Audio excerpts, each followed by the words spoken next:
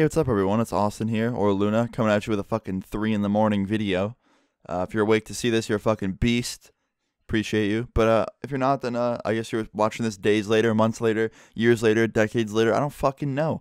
But today's video, I'm telling a story about the curse of the evil ex girlfriend, okay? Now, people are probably going to comment and be like, you, had a you had a girlfriend? You sure it wasn't some like 40 year old dad catfishing you online and then when you met, like, you just dated him anyway?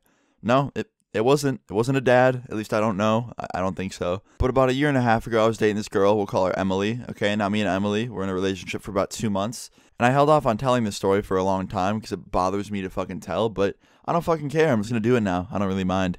Anyway, so about a year back, right? Me and Emily, we're gonna call her Emily, went to a party, and it was really, really, really annoying because it was just a bunch of dudes mostly and they were all drunk as hell. So like it was super hard to talk to people, super annoying, really crowded. People were just being ridiculous.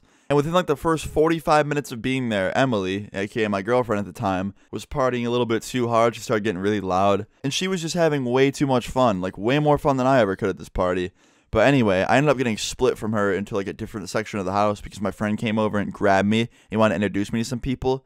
So I went over there towards where the pool was, and she was staying where we walked in. So, you know, I just told her I'd be right back, right?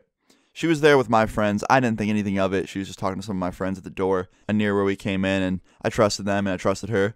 But my one friend grabbed me, introduced me to some people. I said hi to them, talked to them for like 20 minutes, and then I told them that we can link up later. I'm just gonna go grab my girlfriend. And I went over to the area where we walked in, where she should be, talking to my friend still, and she was gone. And I was super confused. So I asked my friend, I was like, yo, where'd Emily go? He's like, I have no idea, man. And I was like, Okay. So I'm just like, whatever. So I sit on the couch for like 30 minutes. Maybe she's in the bathroom or something and she'll come out. Still no sign of her after 30 minutes. And I was like, all right, you know what? This is weird. So I stand up. I go up to my other friend. I was like, yo, man, have you seen Emily anywhere? He's like, nah, she was here earlier, but I have no idea where she went. And I was just like, damn. And I kept looking and I just couldn't find her. And after about like another 15 minutes of just sitting on the couch, texting her, like seeing where she was, I see her come down the stairs into the living room holding a dude's hand.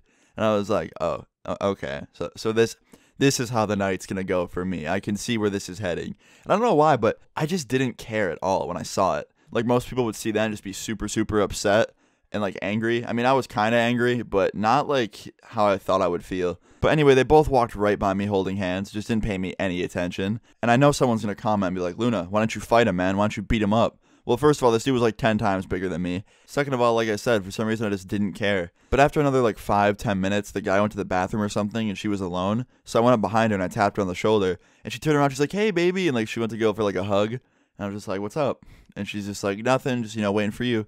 And I was like, oh, yeah. You wait for me with a dude's dick up you? And she was like, what? And I was like, yeah, I, I kind of saw you come down the stairs holding the dude's hand. And even if you guys didn't have sex or anything, like that's pretty weird that you were holding his hand. She's like, no, no, no, you got it all wrong. He's a friend of mine. We didn't do anything. Trust me. We've known each other for a long time. I was like, okay, let's wait here then. So the guy comes out of the bathroom. She looks super nervous. He has the most confusing look on his face as he approaches us. And I was like, hey man, have you known her for a really long time? And he's like, what? And I was like, you've known her for a long time, right? She claims you guys have been friends for a super long time and that you're just friends. And he just goes, nah, that's not true. I just met her tonight. He's like, who are you? I was like, well, I am her boyfriend, or at least was. And he just gets this smirk on his face and starts laughing at me. I was like, yeah, yeah, man, it's funny. Don't even worry about it. Like, don't even worry about it. It's all good. She has AIDS anyway. Enjoy the STD. I hope it was worth it and like his face and her face just immediately changed. Like she looks so angry, he looks so scared, and I just start laughing back at them. And I turn around and walk away. And yeah, I said bye to my friends, was walking out the door, turned around, saw her and him still talking, and I think he was just questioning her about who I was or if she actually had an STD, which she didn't. I just said that to be a jerk because I was angry. But anyway, I walked out the door, went home. Later that night, I got a whole text message from her apologizing and admitting to everything they did because I knew she was lying in my face at the party. I didn't really know what to say. Like, I'm not going to be like, oh, you're forgiven. It's okay. Or, yeah, don't worry about it. Let's just keep dating. Don't do it again. Like, no, I'm not doing that. I just replied and I was like, yeah, I know. Like, that's all I said. Like, yeah, I know. Good luck with your life.